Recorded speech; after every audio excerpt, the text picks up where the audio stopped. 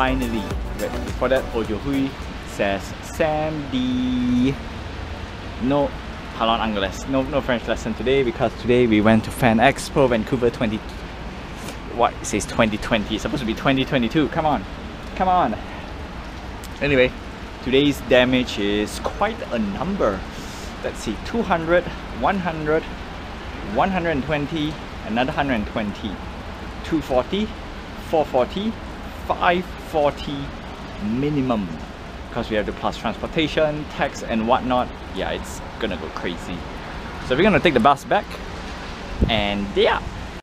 So yeah, five. Okay, let's let's put it. It became 600 plus tax and whatnot. Is it worth?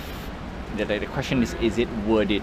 I, I have no idea. Right, the picture is about 200, and apparently the 200 one is not as as satisfying as the 120 dollar that I paid. So, uh, but at least we got one celebrity crossed out, so that's that. Yeah, yep, yep, yep all in all I think it's okay right I think it's okay not the best money well not not the best money well spent yet so that's that yeah could I, could I have spent the money else better elsewhere answer is there is possibility that is a yes that we can spend $500 in this case $600 better.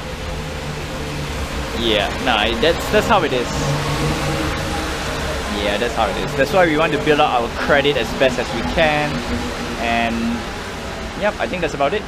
That's about it. Could have been better could have been worse. No no it's, it's never could have been worse but it, it could have been worse but definitely could have been better because all these things it is tough right world the the materialistic world thingy thing well at least I get to enjoy a little bit yes 500 is still expensive because skiing is way better with cheaper price tag, right?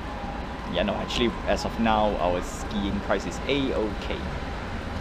And talking about skiing and snowboarding, tomorrow we are, I mean, I am going for snowboarding and skiing also. Unfortunately, it's to, to the mountain that I did not pay, so I have to pay extra. Ugh. Money, yeah, a lot of money went out this week.